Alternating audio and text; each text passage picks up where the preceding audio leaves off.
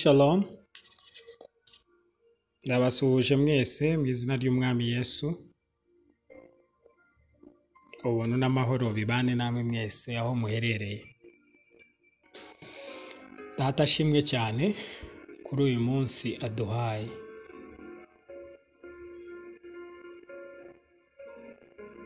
Data ashimwe cyane kuri uyu munsi aduhaye. Data ashimwe cyane kuri uyu munsi aduhaye. Ubuntu bwe buhimbazwe ku bw'ineza y'ubushake bwe. Imbabazi ze zitagira akagero. Ndagusengeye mu izina rya yesu kirisito aho uri hose aho uherereye hose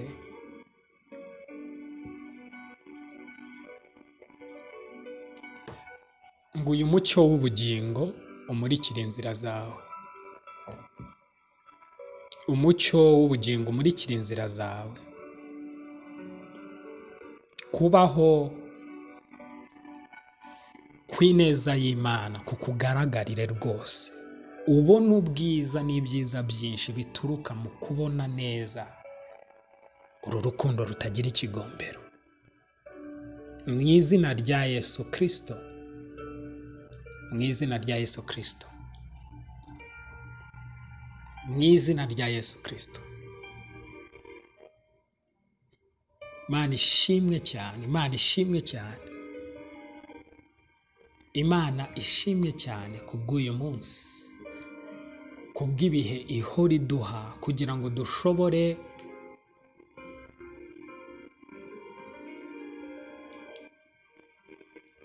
guhundagazwaho kugira neza kwayo.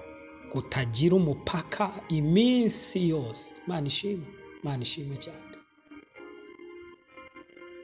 Bakorino ba kabishe cya gatanu mirongo cumi n'umunani ndagira ngo iyo ubutumwa bwiza buri kuvugwa ntube shoked mbese ntube ntutangare ntu- ba- bamwe baranasitara.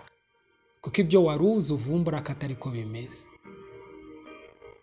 Ari igihe abantu babwira tubwirwa nyine ngo tugerageze twiyunge n'imana twiyunge n'imana nk'aho ibyo bintu bishoboka? Nawe ndagira ngo urebe umurongo wa cumi n'umunani tubwira ngo ariko ibyo byose bituruka ku mana yiyunze natwe. Si umuntu si we wiyunga n'imana umuntu yunzwe n'imana. Imana yiyunze n'uwo muntu. Mbese ari gushaka kuvuga ngo mwe ni mwari mubashije kwiyunga n'imana? Icyakora yo yarabikoze ubwo yiyungaga nawe ubwiyunge bw'imana nawe. Bituruka ku mana. Sinzi niba uri kureba. Ntabwo ahereye kuri twebwe ngo twiyunze n'imana. Oya aravuze ngo imana yiyunze natwe. Burya icyo ni ikintu kinini bizana itandukanirizo rero. Uko wari uzi uko byagenze kuko imana yashatse ko budashingira kuri twe kubera ko abantu barahindagurika akanya kariko kose. Abantu bahindagurika akanya kariko kose. Ariko ubu bwiyunge bwubatswe ku rufatiro rudahindagurika ku buryo wowe rimwe na rimwe n'igihe uvuga uti nshobora kuba imana noneho itakinyumva itakinkunda itakinshaka hari ibyo numva ah, n'ubwiyunge ariko ubwiyunge bwacu ariko wibuke ubwiyunge ntabwo bwubakiye kuri wowe ubwiyunge bwubakiye ku mana yiyunze natwe ku bwa kirisito uri kubona? Niba rero reka nguhe urugero. Wari wabona izuba ko riva umunsi ku wundi? Ok ndagira ngo mbaze nkubaze.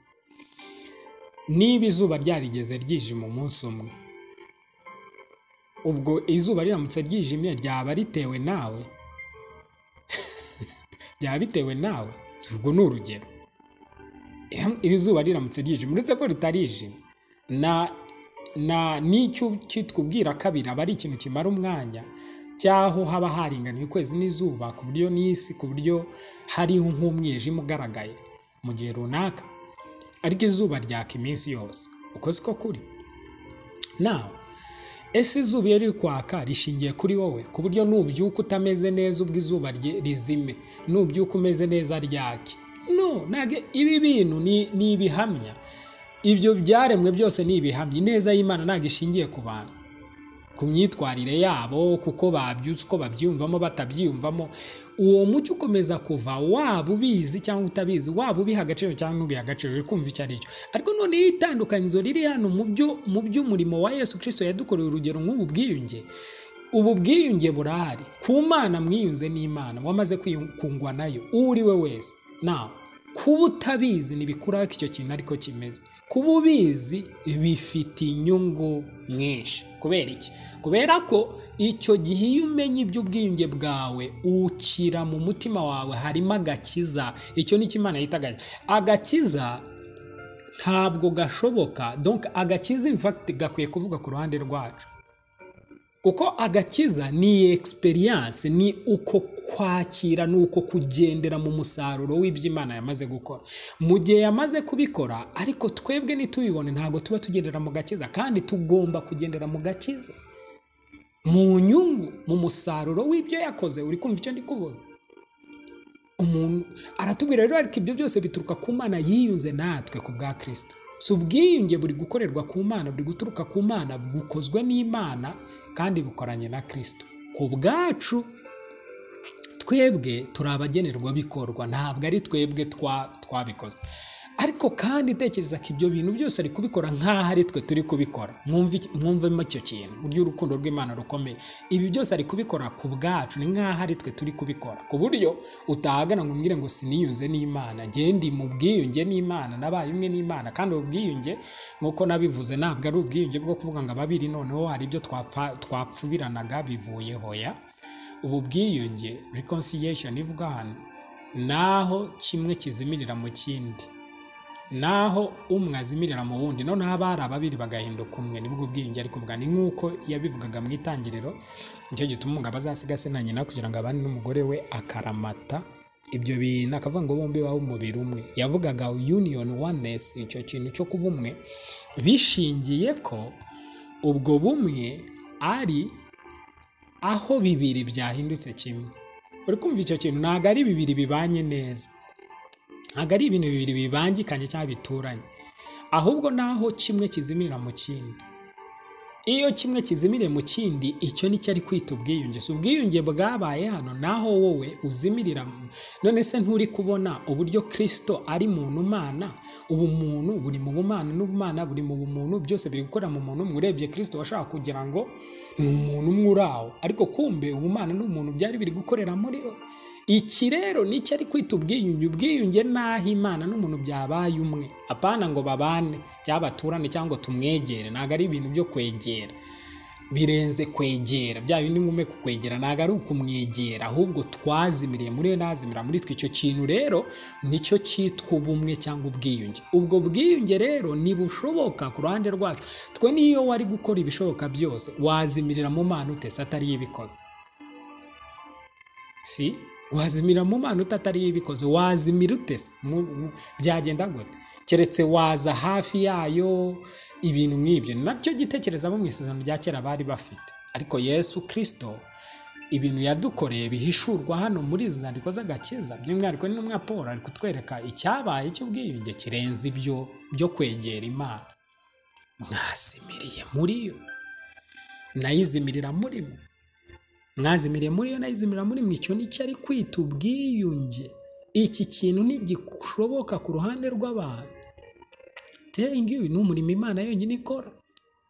Ubwo bushobozi ze wabukurahe uri kumva iki kintu? Yiyunze na natwe. Oh glory. Imana ishimwe imana ishimwe cyane. Uravuga ngo hanyuma se ubwo niba yariyunze natwe bivuze ko yiyunze n'abandi bose? Guma hamwe tuzabibona. Glory. Urukundo rw'imana ruruta uko rumenywa. Ruruta uko rumenywa mbese icyo uruziho? Hari urundi rwego rurenze urwuzi. Urwo rwitwa urukundo rw'imana. Hano uri kurubona uburyo rukabije kandi rukaze. Ubu bwiyunge uri kubona uburyo bukaze. Ubundi ubu ni bwo bwiyunge bwonyine bwabayeho. Butigeze bubaho butazongera kubaho. Nta kintu arega imana yakoze muri kirisito cyoroshye. E, iyo ukize neza ukagisesengura uvumbura ko gikomeye nta bundi bwiyunge bumeze nk'ubu. Ndi kuvuga ngo reka nkwereke imana yakoresheje iri jambo ry'ubwiyunge. Twe turan- turangije turyumva mu buryo bw'umubiri. Turyumva mu bigereranyo bisanzwe tuzi. Ariko ntabwo twaryumvishije mu bukana bw'uburyo imana yabivuzemo. Mu bwiza bw'ubushobozi bwayo. Mu bubasha bwayo ikora ibi bintu ubwiyunge imana ivuga burenze utwo two twe tuzi. Ndakubwiye ngo ubwiyunge twe tuzi ni ukuvuga ngo hari amakosa twakoranye reka twiyunge. Oh, oh, kubura ijambo ryo gukoresha bakoresheje reconciliation ubwiyunge. Ariko ubu bwiyunge buri kuba icya mbere. Ubwiyunge bundi buturuka ku bushake bw'impande zombi. Hano nta n'ubushake bw'uruhande rumwe. Bw'impande zombi bw'abana. Ahubwo ni imana yabikoze. Ushobora kuvuga uti hanyuma ubwo bwiyunge budaturutse ku bushake bw'impande zombi ni ubw'ukuri? Yego ni ubw'ukuri kubera ko ikiri gukorwa hano. Ni uko n'ubundi hari umuntu witwa adamu wari waragize abantu abanyabyaha bidaturutse ku bushake bwabo. In fact bibiliya iratubwira ngo ibyaremwe byashyizwe mu bata bitagira umumaro bidaturutse kuri byo ubwabyo. Si kubw'ubushake bwabyo ni kubw'ubushake bw'ababishyizemo wabyita akarengane? None se kuki umuntu ahinduka umunyabyaha ntacyo yabikozeho? Si ubu bwiyunge nabwo bwagombaga kuza bukemura icyo kibazo kandi busubiza icyo kibazo ku rwego ndetse rurenzeho. Icyo rero ndi kuvuga gisobanura ko ubu bwiyunge bwabaye nta nubwo bwashobokaga ko ku mpande zombi ngo uze ubishake. Nta nubwo wari ufite ubushake bwo ubushobozi bwo kubishaka nk'uko navuze ni nk'icyari cyazimiye nyine iyo wazimiye uba wazimiye ntabwo unabizi ko wanazimiye. Ushobora no kuba utabizi rwose ko aho wazimiriye ariho wazimiriye. Ahubwo kubw'ineza n'urukundo rwe rutagira akagero yaraje asanga uwari uzimiye yiyunga nawe. Yiyunze nawe ate rero muri kirisito bakundwa ngende gushaka kubwira ngo ubu bwiyunge nta cyabuhindura nawe ubwawe ntiwabwikuramo. Wumva uburyo ibyo bintu biteye. Ni ubwiyunge utakwikuramo icyakora uzi igishoboka? Igishoboka ni ukubaho utabuzi. Ukabaho nabi we ukabaho nabi. Ariko ntibivuze ko utaburimo uburimo ariko wanze kubumenya cyangwa wanze kubwakira cyangwa wanze kubu- kuburekonesa kumenya kubwemera. Nk'uko waba ufite ubwenegihugu runaka bw'igihugu runaka ukanga kubwemera ariko bidakuraho nk'umubyeyi yakubyara ukamwihakana cyangwa ukanga kumwemera ariko mu by'ukuri ntibikuraho ko ari wowe wakoze iki wakubyaye. Uri kumva icyo ndi kuvuga so nta rukundo rw'ububyeyi we icyo gihe ariko ntibikuraho realite cyangwa ukuri kuko ari we wakubyaye so ku bw'ibi rero nako tubibona turi kubyigana ubwiyunge bwarabaye atari kubw'ubushake bw'ababikoze bwa- bw'abantu ahubwo ni kubw'ubushake bw'ababikoze n'ububasha bwe. Kandi icyo kintu ubwo yamaze kugikora nta kintu twagihinduraho ahubwo icyiza ni ukurekonesa ko byabaye. Uri kumva imbaraga z'ubu bwiyunge imana ishimwe cyane ko ariyo bishingiyeho bidashingiye ku bantu. Shalom, shalom.